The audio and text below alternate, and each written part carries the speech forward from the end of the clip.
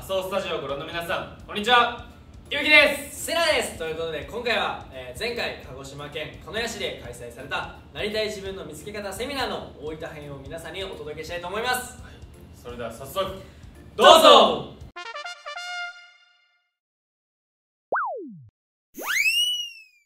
えーチームマーキー所属の19歳後藤瀬奈です。よろしくお願いします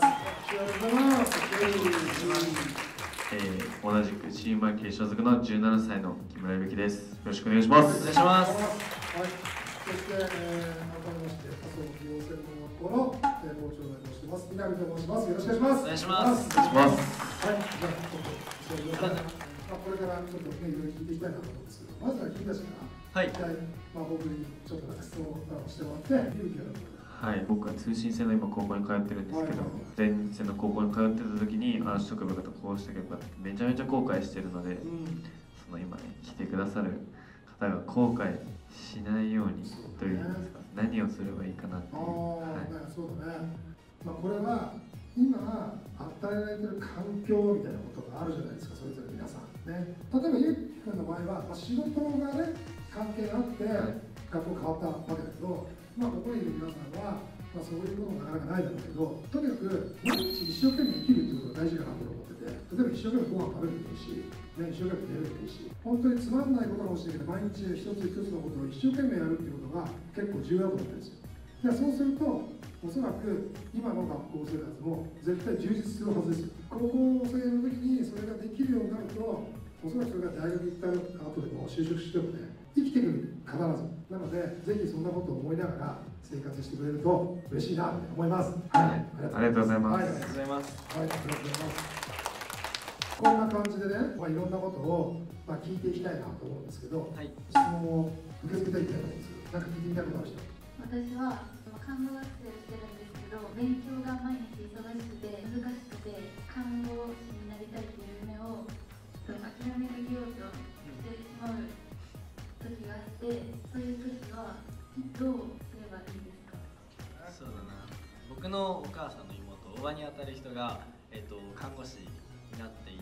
高校生の時は、えっとスポーツ陸上で本当全国大会とか出るような人で勉強ができず走ることだけで、えっと高校まで来ちゃったみたいな人だったんですけどである日、まあの心臓が弱くてあの心臓の手術をしている時にその結構病院に通うんですけどその時に看護師さんの優しさとかに気づいてあの医療現場で働きたいってなったのがおばなんですけどあの本当に勉強してこなかったのですごい大変な思いをしてたんですけどけどやっぱり本当にその熱量さえあれば乗り切れることもあると思うし難しい問題も僕らじゃわからないような次元の話を学んでるかとは思うんですけども僕のおばでもできたし周りの人も一緒に頑張ってくれてるしあの投げ出したくなることも多分僕たちもあの違う世界ではあるんですけどあの僕たちもね投げ出したくなんて山ほどあるのであの僕たちが応援してますのでちょっと一緒に頑張っていただけたらなと思っております頑張ってください頑張ってください。人ってね、面白いのって、本当あの自分のためにはあんまり頑張れないです。大体人って人のためには頑張れないです。なので、ちょっと例えばくじけそうになった時は、なんで自分はこの世界に入ろうと思ったんだっけな。それを本当に思い浮かべて、ね、自分は自分のために頑張るんだって、人のために頑張るんだっていうふうに思う。これが大事。で、なるべく周りにそういう頑張ってる人を置いて、背中を押してくれる人を置くとですね、モチベーションのキーにつながるので、まあ、そんなことを意識するといいんじゃないかなと思います。嫌なことがあってやめたくなった時とかってどうしてますか？この芸能活動に入ってもう嫌なこともやんなきゃやっていけないなと思って本当僕最初演技とかめっちゃ嫌いだったんですけどその演技レッスンに行くごとになんか楽しいなって思ってきて挑戦してみればなんか意外と楽しいこともあるんじゃないかなってそう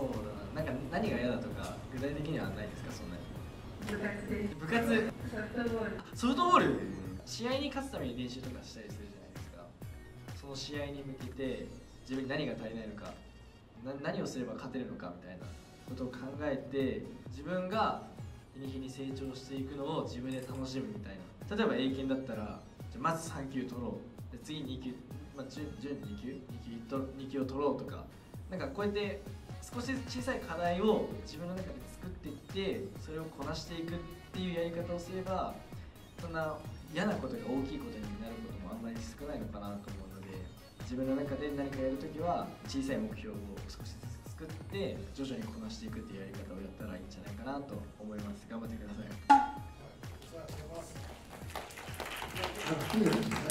まあ、練習が嫌になったりなんでこんなことやらなきゃいけないんだみたいな思うことがすごく多い、ね、でも多分今の子たちはおそらく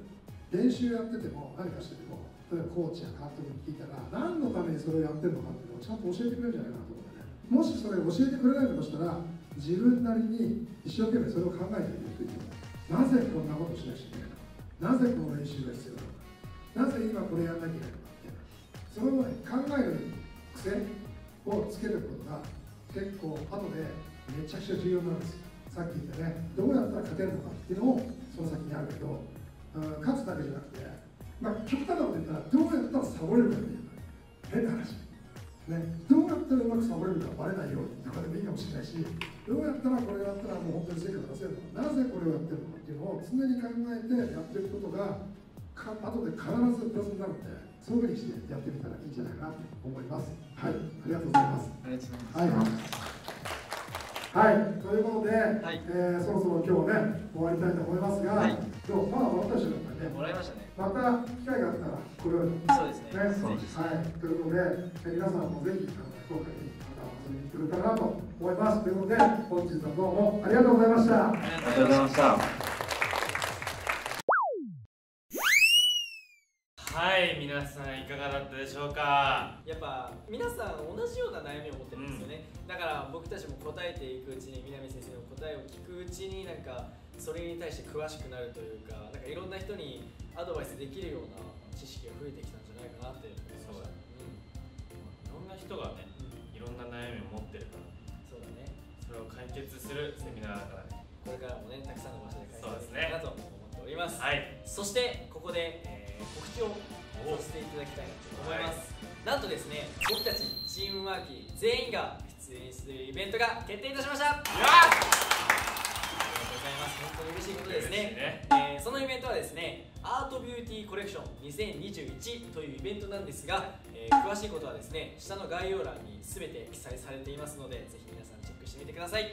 お願いします。それではまた麻生スタジオや麻生さんのイベントやチームマーキュリーの笑顔集めの旅でお会いしましょう。せーの、バイバイ。今大学行き始めて、はい、進路をまず変えたいなともし思ったとしたら、はい。自分はどういう行動に出る？私もずっとこの芸能界には憧れを持ってて、うん。皆さんのなんだろう元気を与えられる人になりたいって思ってたんですけど、ずっとこの仕事をうん。続けたいですけど、うん。でも他にもややりたいことがあって私は英語がすごい好きで海外行きたいなと思ってるので、うん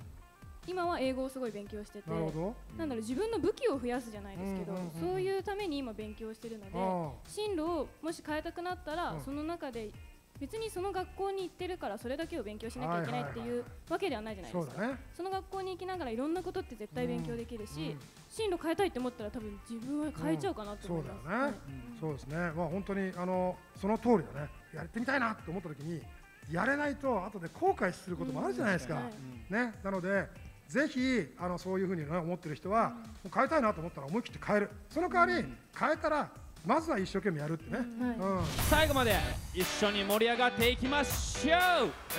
今日一の盛り上げを見せてください。それでは聞いてください。ワン